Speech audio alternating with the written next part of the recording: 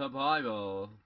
Alright, today is September 8th, 2021, and I'll read Ezekiel. I'll read Ezekiel chapter 38 in the Old Testament, one of the major prophets. There's major prophets and minor prophets in the Old Testament. I believe it's after the poetical books. I've been alternating from poetical books and major prophets. Ezekiel 38 Gog's alliance invades Israel. It's a lot. Of, this is shared a lot with end time teaching of Armageddon, Magog and Gog. I won't go into that, but we'll just read this. Gog's alliance invades Israel.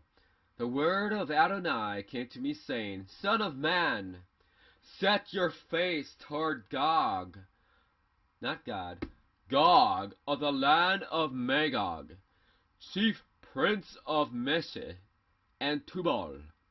Prophesy against him, and say, Thus says Adonai Elohim, Behold, I am against you, Gog, chief prince of Meshech and Tubal. I will turn you about and put hooks into your jaws. I will bring you out with all your army, horses and horsemen, all of them splendidly dressed, a vast assembly with breastplate and shield, all of them wielding swords. With them will be Persia, current day Iran, Cush, I believe current day Egypt, and Put. We'll research on that. All of them with shield and helmet. Gomer and all his troops, the house of Togarmah, from the extreme north of all his troops, and all his troops, many peoples with you. Be prepared! Prepare yourself! You and your company gathered around you. Be a guard for them. After many days you will be summoned. In the latter years you will come against the land that has been brought back from the sword and regathered from many peoples on the mountains of Israel, which had been a continual waste. But they were brought out from the peoples. When all of them are dwelling securely, you will come up, and you will come like a storm. You will be like a cloud covering the land, you and all your troops and many peoples with you. Thus says Adon Adonai Elohim, praise the Lord. It will come to pass in that day that things will come into your heart, and you will devise an evil plan. You will say, I will go up against the land of unwalled villages. I will fall upon the quiet people who live securely, and all of them living without walls, having no of the chapter, since I had some technical issues.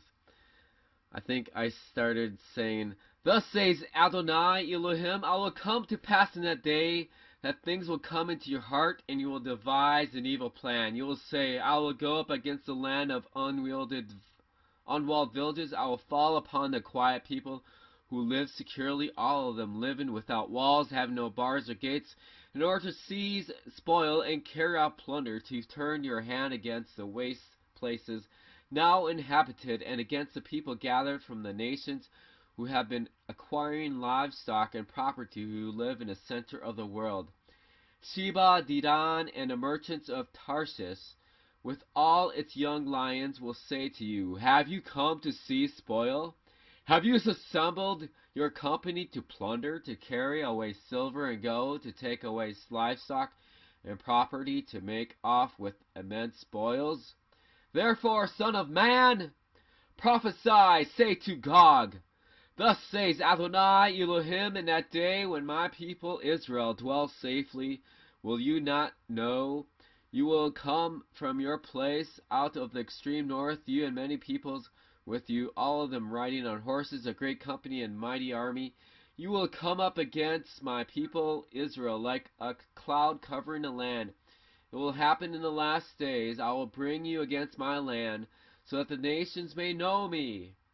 When I am sanctified through you, Gog, before their eyes, thus says Adonai Elohim, Are you the one that I spoke about in former things, through my servant the prophets of Israel who prophesied in those days for many years that I will would bring you up against him. And that day when Gog comes against the land of Israel, it is a declaration of Adonai. My fury will rise up in my nostrils. In my jealousy and the fire of my wrath I have spoken. Surely in that day there will be a great earthquake in the land of Israel. The fish of the sea, the birds of the heavens, and the beasts of the field, all creeping things that creep upon the ground, and all the humans upon the face of the earth will shake at my presence. The mountains will be thrown down, the steep places will fall, every wall will fall to the ground. I will call for a sword against him throughout all my mountains. It is a declaration of Adonai. Every man's sword will be against his brother.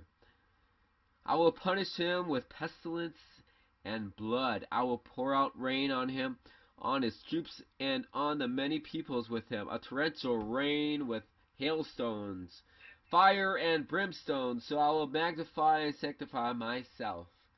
I will make myself known in the eyes of many nations, and they will know that I am Adonai. That's 23 verses in chapter 38 of Ezekiel. Gog's alliance invades Israel. Amen.